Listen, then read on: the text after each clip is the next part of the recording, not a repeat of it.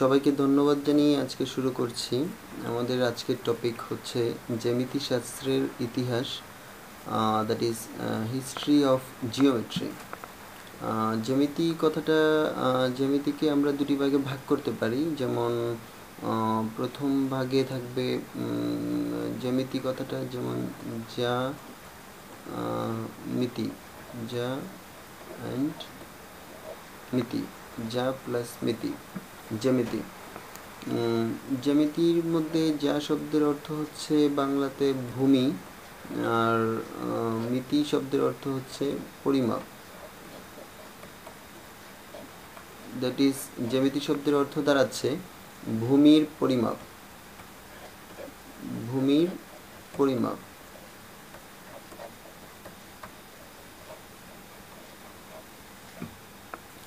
আর অন্যদিকে এটাকে ইংরেজি যে অরিজিনেটিং সেটাকে যদি আমরা ভাগ করি জিওমেট্রি ইংরেজিতে বলা হয় জিওমেট্রি জিওমেট্রি জিও মিন্স দুটো গ্রিক শব্দ থেকে এসেছে, একটি হচ্ছে জিও আর একটি হচ্ছে মেট্রোস মেট্রি কথাটা এসেছে গ্রিক মেট্রোস থেকে।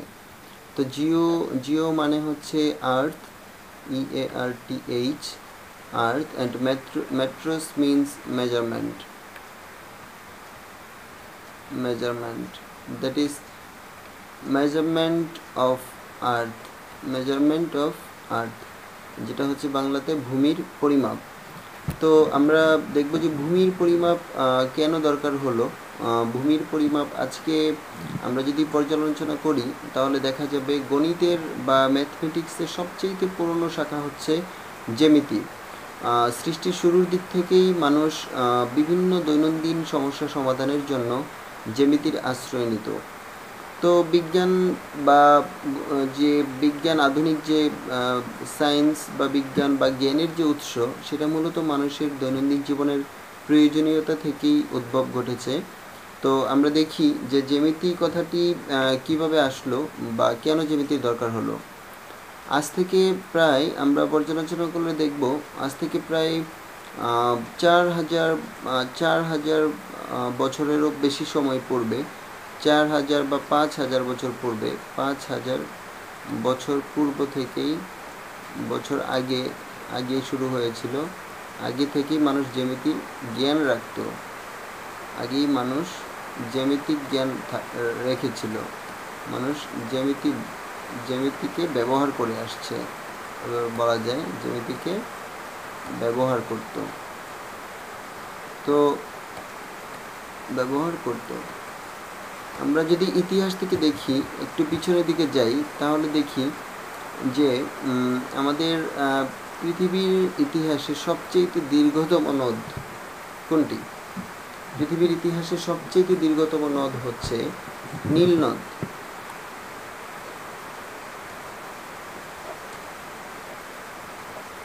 নীল নদ যেটা অবস্থিত হচ্ছে মিশরে। সভ্যতার শুরু, আজকে মানুষ, আমরা যে সভ্য জাতিতে পরিণত হয়েছি, একসময় মানুষ আদিম যুগে ছিল, আদিম মানুষ বনে জঙ্গলে বসবাস করত। তো সেখান থেকে সভ্যতা শুরু হয়েছে মূলত মিশরে, বা মেসোপটেমিয়া সভ্যতা আমরা দেখি। সেটা মিশর মিশর বেবিলিয়ন ওইদিকে অবস্থিত। যাই হোক, তো নীল নদী যেটা হতো, নীল নদের তীরে প্রচুর চাষযোগ্য আবাদি জমি ছিল। সো সেখানে আগে মানুষজন ট্যাক্স বা খাজনা দিত। ট্যাক্স নির্ধারণ করতে গিয়ে দেখল যে প্রতি বছর ওখানে বন্যা হতো। প্রতি বছর বন্যা হয় নীল নদে।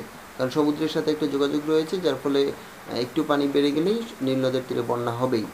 বন্যা ছিল নীল নদের প্রতিনিয়ত প্রতি বছরের সঙ্গী। তারপরে উনিশশো সত্তর সালে কিছুদিন আগে মাত্র একটা বাঁধ তৈরি করে সে বন্যা প্রতিহত করা হয়েছে, বাঁধ দেওয়া হয়েছে। আচ্ছা তো তখন সমস্যা কি হয়েছিল? যে মানুষ যখন খাজনা উদ্ধার করতে যেত কৃষকদের কাছ থেকে, তখন দেখতো যে কার কতটুকু জমি, কে কতটুকু জমি চাষ করবে সেটা নিয়ে প্রতি বছরই একটা সমস্যা তৈরি হতো। কারণ তাদের কোনো ভূমির নির্ধারণ ছিল না, ভূমির কোনো পরিমাপ ছিল না তাদের। যার ফলে তারা ঠিক করল যে তাদের ভূমিটাকে পরিমাপ করে রাখতে হবে যে এতটুকু বা বাউন্ডারি দিয়ে এতটুকু এতটুকু এরকম ভাগ করে রাখতে হবে। সো কার কতটুকু জমি, কে কতটুকু জমি চাষ করবে বা খাজনা দিবে সেটা নির্ধারণ করতে হলে আগে তাকে নির্ধারণ করতে হবে কোন জমিটুকু তার। অর্থাৎ এই জন্যই বলা হয় জ্যামিতি। কথাটি হচ্ছে ভূমির পরিমাপ থেকেই মূলত জ্যামিতি শব্দটির শব্দের উদ্ভব। মিশরীয়রা পৃথিবীতে সবচেয়ে আগে জ্যামিতিক জ্ঞান ব্যবহার করতে শুরু করে। আর সেই জ্যামিতিক জ্ঞান তারা যদিও লিপিবদ্ধভাবে, তখনও কোনো সুনির্দিষ্ট গাণিতিক ব্যাখ্যা ছিল না, বাট তারা যেটা করত, দৈনন্দিন জীবনে পরীক্ষামূলকভাবে প্রয়োগ করে করে তারা জ্ঞানটাকে কাজে লাগাতো। এরপরে, আজ থেকে এরও, আরও পরে, প্রায় খ্রিস্টের জন্মের প্রায় পঁচিশ শত বছর পূর্বে, অর্থাৎ আজ থেকে প্রায় সাড়ে চার হাজার বছর আগে, সাড়ে চার হাজার বছর পূর্বে, সাড়ে চার হাজার বছর পূর্বে পিরামিড, মিশরের পিরামিড দিজ আর পিরামিডস এই পিরামিড নির্মাণ শুরু হলো ফারাও সম্রাটগণ নিজেদের পিরামিড তৈরি নিজেদেরকে মমি করে রাখবে, মমি করে পিরামিডের মধ্যে সংরক্ষণ করবে, সিদ্ধান্ত নিল। তাদের একটা বিশ্বাস ছিল যে মৃত্যুর পরবর্তীতে তাদেরকে আবার জীবিত করা হবে। সো সেই পরবর্তী জীবনে পুনরুদ্ধার বা পুনর্জীবনের বা যখন পুনর্জীবিত করা হবে, তখন যাতে তাদের শরীর অক্ষত থাকে, সেই ধারণা থেকে তারা নিজেদেরকে মমি করে পিরামিডের মধ্যে মমি করে নিজেদেরকে সংরক্ষণ করার নির্দেশ দিল। মিশরের সম্রাটগণ ফারাউন ফেরাউ সম্রাটগণ এই নির্দেশ দিল। তো এই যে মিশর, এই যে পিরামিড, আজকের এত বছর পূর্বে, সাড়ে চার হাজার বছর পূর্বে, মানুষের তখনও জ্ঞান বিজ্ঞানের তেমন কিছুই সুনির্দিষ্ট ছিল না। তখন যে পিরামিড নির্মাণ করা হয়েছিল, আজও পর্যন্ত সেই পিরামিড একইভাবে অক্ষত রয়েছে। তাহলে সেটার কতটুকু গাণিতিক যুক্তিযুক্ত হলে সেটা সম্ভব। এক একটা পাথর ছিল, প্রায় দেড় টন থেকে, দেড় টন থেকে পনেরো টন পর্যন্ত, দেড় থেকে পনেরো টন পর্যন্ত ভারী ছিল এক একটা পাথরের ওজন। সো সেই এত বড় বড় পাথর এখানে নিশ্চয়ই কোনো জ্যামিতিক ব্যাখ্যা রয়েছে বা তাদের কোনো জ্যামিতিক জ্ঞান ছিল, যার প্রয়োগ করে তারা এই পিরামিডটি তৈরি করতে পেরেছে। এটা নিচে মূলত একটা চতুর্ভুজাকৃতির বেইজ রয়েছে। তার আগে একটু বলে নিই মানে সবার জানার সুবিধার্থে। এই পিরামিডটির উচ্চতা হচ্ছে চারশো একাশি কিলো চারশো একাশি ফুট। চারশো একাশি ফুট উঁচু এবং এটা প্রায় তেরো একর জমির উপর অবস্থিত, তেরো একর। তো এই পিরামিডের নিচের যে স্তম্ভটা, সেটা ছিল চতুর্ভুজাকৃতির এবং তার উপর ত্রিভুজাকৃতির পাথর আমরা যদি দেখি যে এরকম ত্রিভুজাকৃতির পাথর দিয়ে এই পিরামিডটা বানানো হতো, এরকমভাবে ত্রিভুজাকৃতির।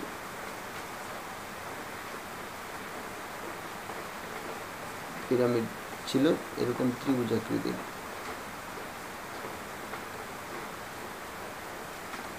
যাই হোক, এভাবে পিরামিড উপরে আস্তে আস্তে উপরে উঠে পিরামিডটা কমপ্লিট করতো, এরকম।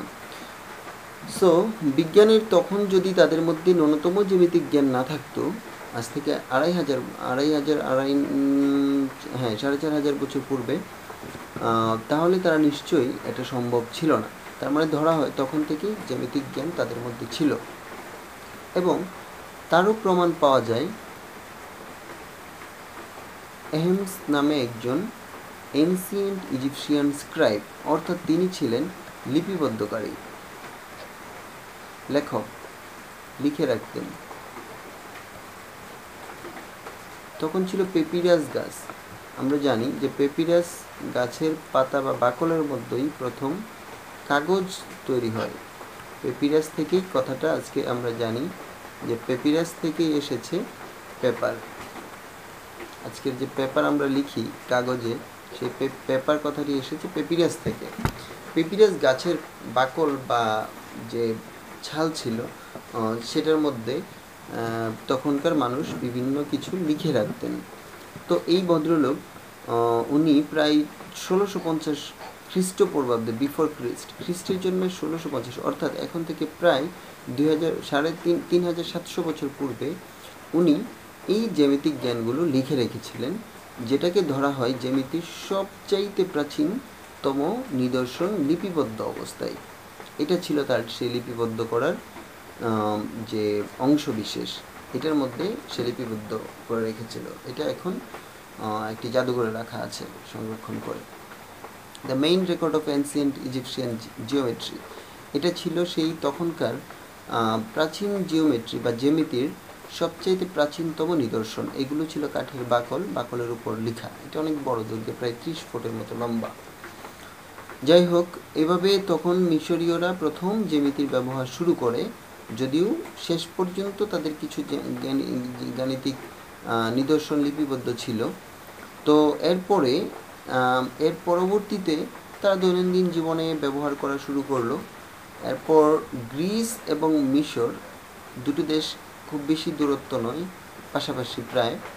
সো গ্রিস গ্রিস থেকে আহ, থেলিস নামে একজন ছিলেন। উনি অনেকেই গ্রিস থেকে উনি ছিলেন গ্রিসের নাগরিক। সো গ্রিস থেকে ওনারা ভ্রমণ করতে যেতেন। গ্রিস থেকে ভ্রমণের উদ্দেশ্যে মিশর ভ্রমণ করতে যেতেন। ভ্রমণ করবে কোথায়? মিশরে। তো উনি মিশরে যখন যারা ভ্রমণ করতে যেতেন তখন উনি গিয়ে দেখলেন যে মিশরে জ্যামিতির এরকম ব্যবহার শুরু হয়েছে। প্রতিনিয়ত তারা জ্যামিতিক জ্ঞানকে কাজে লাগিয়ে জীবনের অনেক দৈনন্দিন সমস্যার সমাধান করছে। সো থেলিস ছিলেন তখনও একজন মানে গণিতবিদ। তো উনি প্রথম এই যে মিশরের যে অর্জিত জ্ঞান, উনি এটার কিছু অংশ বিশেষ শিখে আসলেন এবং কিছু নমুনা বা ডকুমেন্ট অবস্থায় উনি নিয়ে আসলেন গ্রিসে। তো ধারণা করা হয় থেলিসের সেই মিশর থেকে অর্জিত জ্ঞানের পর থেকেই গ্রিসে ব্যাপকভাবে জ্যামিতির উপর মানুষের আগ্রহ জন্মায় এবং মানুষ চর্চা করা শুরু করে। এটা ছিল খ্রিস্টের জন্মের প্রায় সাড়ে ছয়শো বা ছয়শো বছর পূর্বের কথা। তো থেলিসের পরে শুরু করেন পিথাগোরাস। আজকে আমরা পিথাগোরাসের নাম শুনলেই আমরা একটা জ্যামিতিক উপপাদ্যের কথা মনে পড়ে যায়, সেটি হচ্ছে ত্রিভুজের একটি সমকোণী ত্রিভুজের অতিভুজের বর্গ অন্য দুই বাহুর বর্গের যোগফলের বর্গমূলের অতিভুজের বর্গ অন্য দুই বাহুর বর্গের যোগফলের সমান। এই সেই প্রতীকী ত্রিভুজ যেটা পিথাগোরাস হাতে নিয়ে দাঁড়িয়ে আছেন। তো পিথাগোরাস এরপরে সেই গ্রিক জিওমেট্রি থেলিসের পরবর্তীতে উনি অংশগ্রহণ করলেন। থেলিসের পরবর্তীতে এটাকে আরও এগিয়ে নিয়ে গেলেন পিথাগোরাস। সামনের দিকে এগোতে থাকল গ্রিসে। গ্রিকে ব্যাপক হারে জ্যামিতির চর্চা শুরু হলো। এরপরে গ্রিসরা যথেষ্ট অগ্রগতি সাধন করে এবং এর আরও কয়েকশো বছর পর আসলো ইউক্লিড। ইউক্লিডকে বলা হয় ফাদার অফ জিওমেট্রি জিওমেট্রির জনক বা আবিষ্কারক। উনি এই পর্যন্ত যতগুলো চর্চা বা জ্ঞান আহরিত হয়েছিল গ্রিসে এবং ইজিপ্ট থেকে বা মিশর থেকে অর্জিত যে জ্ঞান, সবগুলো জ্ঞান প্লাস উনি নিজেও ছিলেন একজন জ্যামিতির খুব বড় ধরনের গবেষক। উনি সেই গবেষণা পত্র নিজেরগুলো প্লাস অন্যদের যে সংগৃহীত, সেগুলো নিয়ে উনি একটি বই লিখলেন দি এলিমেন্টস এইটা ছিল একটি বই না, মূলত তেরোটি বইয়ের একটি খণ্ড, তেরোটি বই একত্রে। এটাকে ধরা হয় আজও পর্যন্ত জ্যামিতির সবচাইতে ভালোতম, ভালো মানের একটি নিদর্শন, যেখানে জ্যামিতির সবগুলো জিনিসের তথা তখনকার যুগে প্রচলিত জ্যামিতির সবগুলো ব্যাখ্যা রয়েছে। আরেকটি কথা বলি, এই বইটাকে এমনভাবেই ধরা হতো, এতটাই গুরুত্বের সঙ্গে দেখা হতো, গ্রিসে তখন কোনো স্কুল, কলেজে কেউ ভর্তি হতে গেলে কিংবা কোনো গুরুর কাছে তখন স্কুল, কলেজের চাইতে মানুষ আরেকজন গুরুর কাছে শিক্ষা নিতেন। তো সেই গুরুর কাছে শিক্ষা নিতে গেলে তাকে প্রথমে জিজ্ঞেস করা হতো যে সে এই দি এলিমেন্টস বইটি পড়েছে কিনা। এটা কি ছিল, এটা ছিল তখনকার গ্রিসে শিক্ষা লাভের প্রথম ইন্টারভিউ যে সে ইউক্লিডের দ্য এলিমেন্টস বইগুলো তার পড়ার আছে কিনা। এরপরে আসলেন আর্কিমিডিস। ইউক্লিডের পরে জ্যামিতি বা গণিতকে নিয়ে আরও দূর এগিয়ে নিয়ে গেলেন আর্কিমিডিস। আর্কিমিডিসের এই চিত্র দেখে আমরা দেখতেছি যে একটি চৌবাচ্চার মধ্যে গোসল গোসল করছেন। এই চৌবাচ্চার কাহিনী বা গল্প আমরা সবাই জানি যে আর্কিমিডিসকে বলা হয়েছিল সে স্বর্ণের খাত পরীক্ষা করার জন্য যে, এটা স্বর্ণের রাজাকে একটি মুকুট বানানো হয়েছিল, মুকুট উপহার দিয়েছিল বা সামথিং। এটা একটি গল্প। সেই মুকুটের মধ্যে কোনো রকম ভেজাল মিশ্রিত আছে কিনা সেটা পরীক্ষা করার জন্য তাকে রাজা দায়িত্ব দিয়েছিলেন এবং বলা হয়েছিল সেটা যদি পরীক্ষা করতে ব্যর্থ হয় তাহলে তার শিরচ্ছেদ যাবে শিরচ্ছেদ করে ফেলবে। তো এই জন্য ইউক্লিড চৌবাচ্চাতে গিয়ে যখন গোসল করলেন এবং অতিরিক্ত পানি এদিক দিয়ে পড়লেন, এই যে পানি পড়ছে, এ থেকে তিনি ধারণা করেছিল যে বস্তু দ্বারা অপসারিত তরলের ওজন বস্তুর ওজনের সমানুপাতিক, সমান। এই ধারণা থেকে উনি প্রথম ইউরেকা ইউরেকা বলে চিৎকার করে উঠলেন এবং সেই সমস্যার সমাধান করলেন। সেই গ্রিক ফিজিসিস্ট ম্যাথমেটিশিয়ান এবং অ্যাস্ট্রোনমার জ্যোতির্বিদ আর্কিমিডিস তখন আবিষ্কার করল আরও গণিতের নতুন নতুন শাখা এবং ওর তার সবচেয়ে বড় যে আবিষ্কারটা ছিল সেটা ছিল অনিয়মিত বা অনিয়ত তলের ক্ষেত্রফল নির্ণয়। এরকম একটি পাথর বা সামথিং যেটার পৃষ্ঠতলটা সমান না, সেরকম একটা বস্তুর পৃষ্ঠের ক্ষেত্রফল নির্ণয়ের সূত্র তিনি আবিষ্কার করলেন।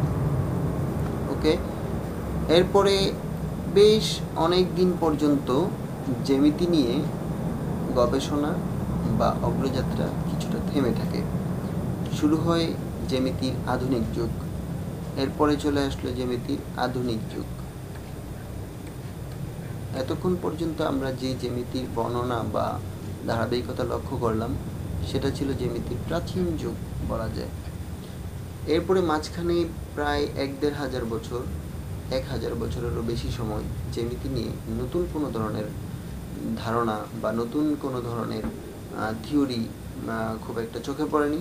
তো এরপরে মডার্ন যুগে ইউক্লিডীয়, এর আগ পর্যন্ত জ্যামিতিটিকে বলা হতো ইউক্লিডীয় জ্যামিতি এরপরে মডার্ন জিওমেট্রিস্ট জিওমেটার্স বা সায়েন্টিস্টদের বা ম্যাথমেটিশিয়ানদের আগমন ঘটলো এবং তার মধ্যে অন্যতম হচ্ছেন গিরার্ড ডেজার গিওস। উনি ছিলেন ফ্রেঞ্চ ম্যাথমেটিশিয়ান অ্যান্ড ইঞ্জিনিয়ার এবং তাকে বলা হয় ইনভেন্টর অফ প্রজেক্টিভ জিওমেট্রি এরকম একটি ত্রিভুজ আমরা লক্ষ্য করছি, যেটার একটি প্রজেকশন এখানে লক্ষ্য করা যাচ্ছে। এই টাইপের যে ধরনের থিওরি রয়েছে। ওনাকে বলা হয় ইনভেন্টর অফ প্রজেক্টিভ জিওমেট্রি অর্থাৎ প্রজেক্টিভ জিওমেট্রির জনক। আমরা এগুলো আরও যারা পড়ব বিস্তারিত তারা দেখতে পারব। তো জ্যামিতির আরও একটি ব্রাঞ্চ হচ্ছে